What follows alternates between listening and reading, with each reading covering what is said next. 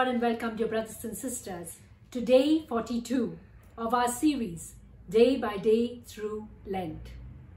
Today we are meditating on the Gospel of St. John chapter 13 verse 38. Jesus answered, Will you lay down your life for me? Truly, truly, I say to you, the cock will not crow till you have denied me three times. So much was happening at the Last Supper, dear brothers and sisters. And St. John again gives us some details that seem to take us back in time, 2000 years ago.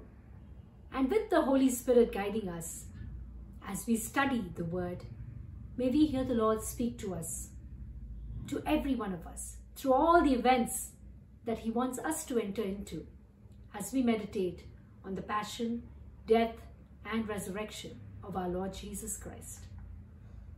Jesus here is prophesying that Peter will deny him three times before the cock crows twice.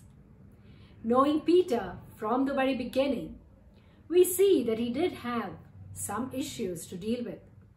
He was hasty, impulsive, proud, and fearful, to name a few of his weaknesses. And studying his character makes this really obvious. But he wore many masks and put up a brave front as he was appointed the leader of the twelve and did not deal with the weaknesses he had. But what happens when we have so many areas which can become pitfalls, especially when in leadership positions? They become entry points for the devil to gain a foothold over our lives. This is why Jesus warned Peter in Luke chapter 22, verses 31 and 32, saying, Simon, Simon, behold, Satan demanded to have you, that he might sift you like wheat. But I have prayed for you, that when that your faith may not fail, and when you have turned again, strengthen your brothers. But Peter protested that he will remain faithful no matter what. Again, as the scriptures tell us in the book of Proverbs, pride goes before destruction and a haughty spirit before a fall. A haughty spirit was able to gain entry into Peter's life and tempted him and he fell as he denied Jesus three times as prophet, prophesied by Jesus. It was not only pride, there was also fear as he was seeing Jesus being arrested.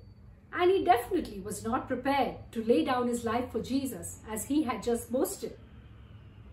And he did not deny Jesus when questioned by some high official or a person in authority, but a young maid servant and just by some bystanders.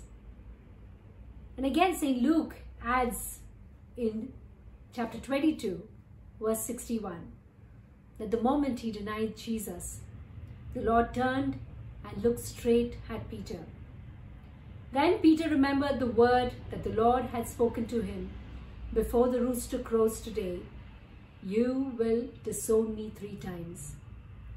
Let's just ima imagine what those loving eyes would have said to Peter. Surely there was no condemnation, no accusation, and no pointing of the finger. I believe. Peter saw only mercy and love, and this caused him to go out and weep bitterly, sweet tears of repentance. He knew he had let Jesus down, but surely he remembered the Lord's assurance that he had already prayed for him, and he decided to depend on Jesus' prayer for him and not focus on his failure but to go and strengthen his brothers. And this he did faithfully, especially after he was filled with the Holy Spirit on the day of Pentecost and never turned back, even following Jesus to his own crucifixion. What does the Holy Spirit want to teach us through this incident, dear brothers and sisters? I believe we can learn many lessons if we are open to the Holy Spirit. Sin is an open door to the enemy gaining access into our lives. and he is the thief who comes to steal, kill, and destroy. So we must resist the devil and he will flee by closing every door of sin and plugging areas of weakness. So it is important for us to always be sensitive to the Holy Spirit who convicts us of sin and repent immediately and return to the Lord. We must learn to rely continually on the grace of God to keep us safe and protect us in times of temptation, for He is praying for us. For left to ourselves, we will stumble and fall. Pride truly goes before destruction. Jesus has already prayed for us, and we can be confident that He will lift us up when we cry to Him, and He will equip us to strengthen others.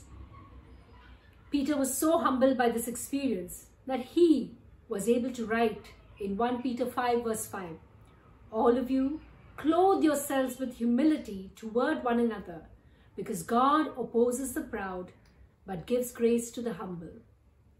As we reflect on the denial of Peter, we must also remember how faithful he was when he repented and returned to the Lord. And this is possible only when we yield to the Holy Spirit as Peter did. Let us continually depend on the Holy Spirit to teach us to be humble and to rely on Him. Let us pray. Father, we want to thank you for through your word, you continually challenge us that we too have denied Jesus so many times.